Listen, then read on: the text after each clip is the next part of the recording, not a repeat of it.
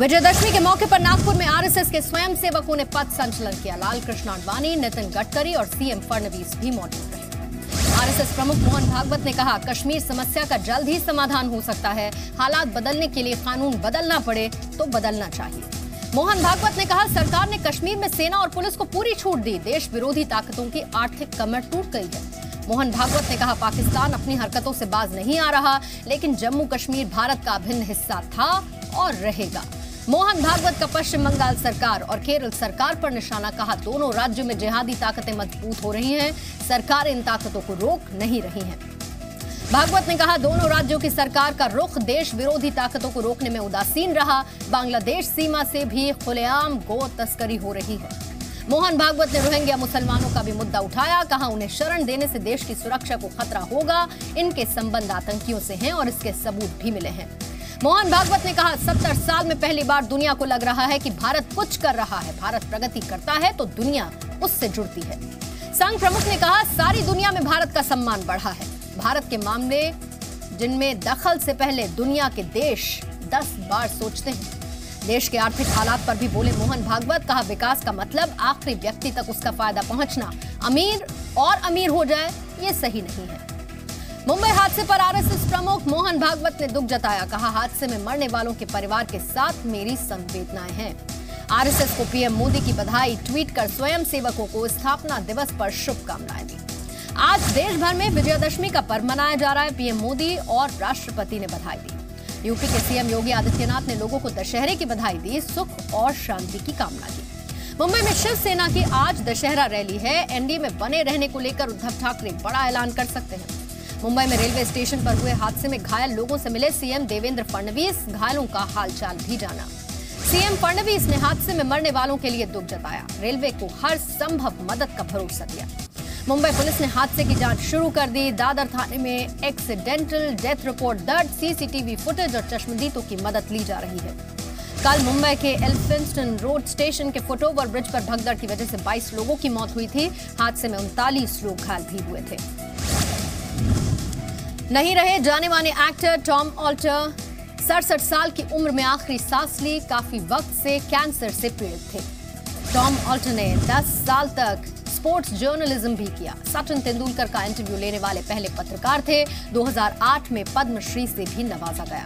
PM Modi ने Tom alter के निधन पर दुख जताया। उनके फ़िल्म और कला के क्षेत्र में योगदान को याद किया। आज सियाचिन बेस कैंप जाएँगी रक्षा मंत्री निर्मला सीतारमन आर्मी कमांडर्स के साथ बैठक करेंगी। लद्दाख में लाइन ऑफ़ एक्चुअल कंट्रोल का भी जायजा लेंगी। कुलभूषण जाधव के बदले आतंकी को छोड़ने के प्रस्ताव को भारत ने बेबुनियाद बताया। पाक विदेश मंत्री के दावे को झूठा बताया। जी न्यूज़ की खबर का असर हुआ। भारत सरकार ने म्यांमार में हिंदुओं की कब्र पर चुप्पी तोड़ दी। कहा, अपराध में शामिल। किसी को भी बख्शा नहीं जाएगा। विदेश मंत्रालय के प्रवक्ता रवीश कुमार ने कहा, आम नागरिकों के खिलाफ किसी भी आतंकी वारदात को बर्दाश्त नहीं किया जा सकता है। ओडिशा के जयपुर में ब्रिटिश काल के हज़ारों बुलेट्स मिले हैं, टॉयलेट टैंक की सफ़ाई के दौरान ये गोलियाँ दिखी। राजस्थान के झुंझुनू में सड़क हादसा हुआ, दो युवकों की मौत, चार घायल, कार को ट्रैक्टर, ट्रॉली ने टक्कर मार दी थी। बिहार के पूर्णिया में बाइक चोर गिरोह का पर्दाफाश, चार मोटरसाइकिल बरामद हुई, छह बदमाश भी पकड़े गए। आज दिल्ली में मूर्ति विसर्जन को देखते हुए सुरक्षा के पुख्ता इंतज़ाम, यमुना के तट पर विसर्जन की खास व्यवस्था। दिल्ली में कुल सात घाटों पर मूर्ति विसर्जन किया जाएगा। आईटीओ, यमुना बाज़ार, मयूर विहार मुख्य इलाके हैं। दोपहर एक बजे से दिल्ली के Mandir Marg Panchkuian road, Connaught place, जाम जैसे हालात हो सकते हैं। मिंटो रोड, दीनदयाल उपाध्याय मार्ग पर भी जाम लग सकता है। मूर्ति विसर्जन को देखते हुए कालिंदी कुंज मार्ग बंद रहेगा। नोएडा से दिल्ली जाने के लिए डीएनडी का इस्तेमाल आप कर सकते हैं। दोपहर दो बजे से शाम आठ बजे तक राजघाट से लेकर बस अड्डे तक जाम की संभावना है।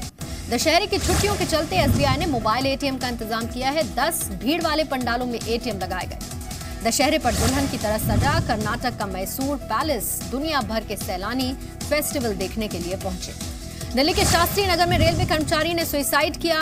सुसाइड नोट में सीनियर अफसरों को जिम्मेदार बताया है। मुंबई के प्राइवेट स्कूल में छात्र की पिटाई, शिकायत के बाद आरोपी टीचर गिरफ़्तार, पिटाई के बाद बेहोश होने की शिकायत। इटावा में छात्रा की हत्या, रेप की कोशिश में नाकाम रहने पर वारदात को अंजाम दिया, आरोपी की तलाश जारी है। सहारनपुर में खेत में लटका मिला पचपन साल के व्यक्ति का शव, हत्या के बाद शव को पेड़ पर लटकाने का शक है।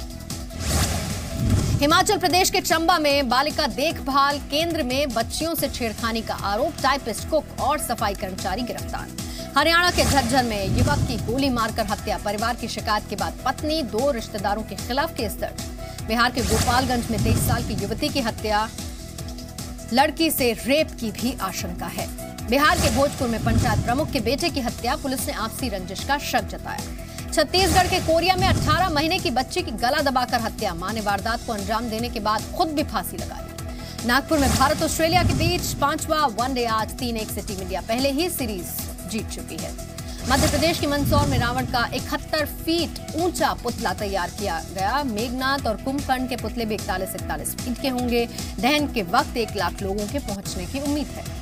रांची में मूर्ति विसर्जन से पहले श्रद्धालुओं में उत्साह है। महिलाओं ने एक दूसरे को सिंदूर लगाकर बधाई दी। एक्ट्रेस अनुष्का शर्मा ने स्वच्छ भारत अभियान की शुरुआत की। मुंबई के बरसोवा बीच से अभियान की शुरुआत की।